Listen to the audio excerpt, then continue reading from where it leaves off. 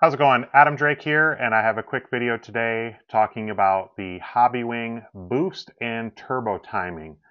So I've had a couple questions kind of asking what values or settings should be used for electric buggy and truck for boost and turbo, and what's the difference between the two.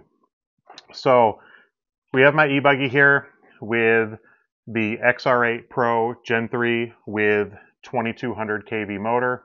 Um, I have a few different settings. Um, if you guys ever need or have any questions, you can always feel free to email me. I can send you uh, different setup sheets. So I have kind of a lower grip setting that uses a 1900 where I also play a little bit with uh, turbo boost and then also softening value and range um, for lower grip conditions. But for today with my standard setup, 2200 kV motor. Um, for buggy, I normally start with uh, 0 degrees of boost and 10 degrees of turbo. Uh, for truck, I add a little bit of um, boost, so 5 degrees and 10 degrees of turbo timing would be my standard setting for truck. And then again, 0 uh, boost and 10 timing for buggy. So what's the difference? So uh, boost timing, I guess to kind of put it in the simplest terms, uh, boost is going to be the initial kind of burst or boost of power. So consider that more the low end power. And the turbo timing is going to be once the throttle gets past 95% or basically to 100%, the turbo kicks in. So the turbo is almost like shifting gears in a sense. It gives you that little bit extra uh, pull on the straightaway without kind of overpowering the car on the infield. So again, um, boost is going to be for bottom. So the, the short burst, that's why on truck I run um, five degrees, where on buggy I run zero.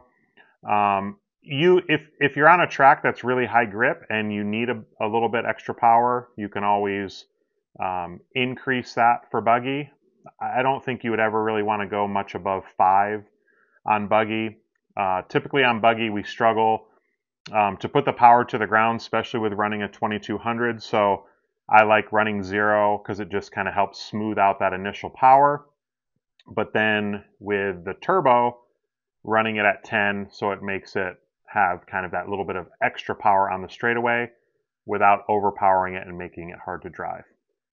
So again, just to kind of make it simple, boost, low end, turbo, high end. Um, on truck, again, I normally start with 5 degrees of boost and 10 degrees of turbo. Um, at Motorama, I went up to 15 degrees of turbo. Um, there was a really, really big double in the back, and you, you had a pretty good run up to it.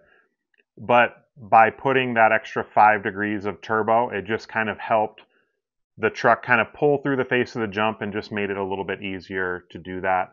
Um, again, without making it like too aggressive or difficult to drive through the infield. So hopefully this was helpful. I have more Hobbywing videos coming in the near future.